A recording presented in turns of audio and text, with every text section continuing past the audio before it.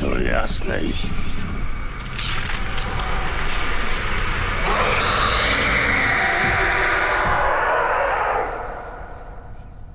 Trzeba uważać.